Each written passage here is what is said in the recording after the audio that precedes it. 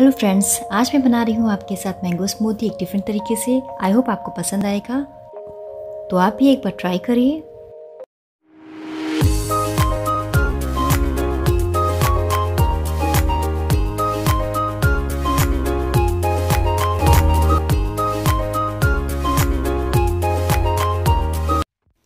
यहाँ पे मैंने एक आम को काट लिया है और एक केले को काट लिया है।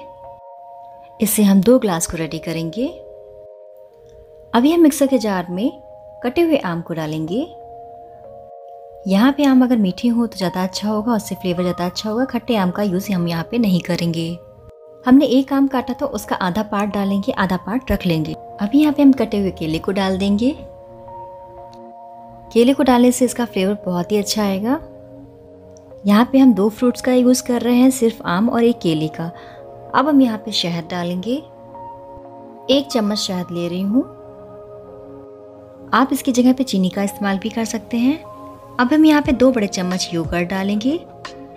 यहाँ पे वनीला फ्लेवर भी योगर्ट डाल सकते हैं और विदाउट फ्लेवर भी योगर्ट डाल सकते हैं। यहाँ पे हम मिल्क का इस्तेमाल करेंगे, जितनी थिकनेस आपको चाहिए उसी के हिसाब से मिल्क डालेंगे। अभी आधा ग्लास हम इसमें मिल्क डालेंगे। ये मैं ठंडा मिल्क यूज़ कर रही हूँ। हाफ़ एन आवर के लिए मैंने फ्रिज में रखा हुआ था, वही मिल्क मैं यूज़ कर रही हूँ। अब हम इसको ब्लेंड करेंगे। अभी मैंने इसको यहाँ पे ब्लेंड कर लिया है। आप देख सकते हो। अभी मैंगो स्मूदी का पेस्ट मैंने रेडी कर लिया है। अब हम यहाँ पे ग्लास को रेडी करेंगे। तो अब हमें अपनी ग्लास को सजाना है, अच्छे से डेकोरेट करना है।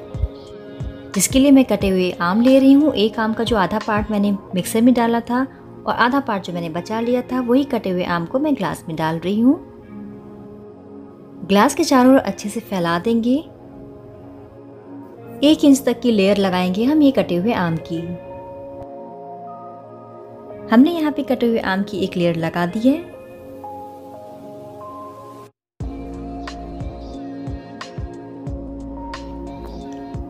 अब हम यहाँ पे मैंगो स्मूदी डालेंगे। आप देख सकते हो यहाँ पे इसकी थिकनेस, इसका कलर, इसको बहुत ज़्यादा गाढ़ा भी नहीं रखना है और इसको बहुत ज़्यादा पतला भी नहीं रखना है।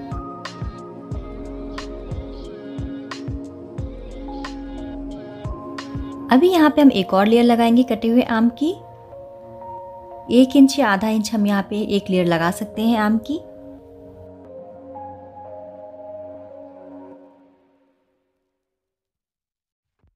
यहाँ पे हल्के से आम को चारों ओर ग्लास के रख देंगे।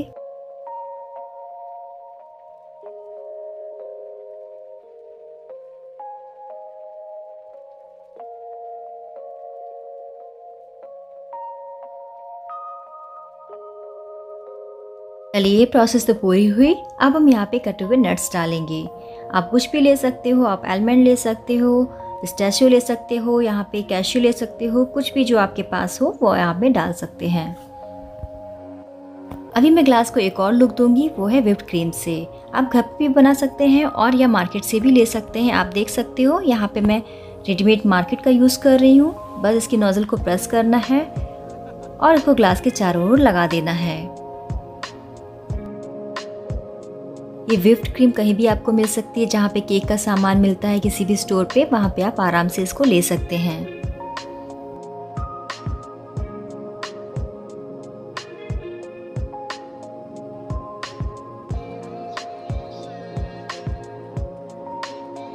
अभी हम इसको ऊपर से डेकोरेट करेंगे, कटे हुए नट्स से।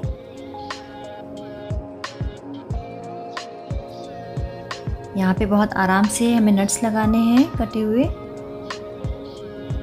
चारों ग्लास के लगा देंगे अच्छे से। तो लीजिए, ये हमारा टेस्टी हेल्दी और यूनिक स्टाइल का मैंगो स्मूदी तैयार हो चुका है। आप इस मैंगो स्मूदी का ग्लास फ्रिज में थोड़ी देर रख सकते हैं। लेकिन विफ्ट क्रीम का यूज़ हमें सर्व करने के टाइम करना है। विफ्ट क्रीम को यूज़ करने के बाद हमें उसको फ्रिज में नहीं रखना है। तो बस ग्लास तैयार करिए विप क्रीम डालिए और फ़ौरन फ़ौरन सर्व करिए। आई होप आज की रेसिपी आपको बहुत इजी और टेस्टी लगी होगी तो आप भी इसको एक बार ट्राई करिए। और आज का वीडियो अगर आपको पसंद आया हो तो प्लीज़ मेरे चैनल को लाइक करिए और सब्सक्राइब करना ना भूलिए। फिर मिलते हैं कुछ नई रेसिपी के साथ, कुछ नए टेस्ट के साथ।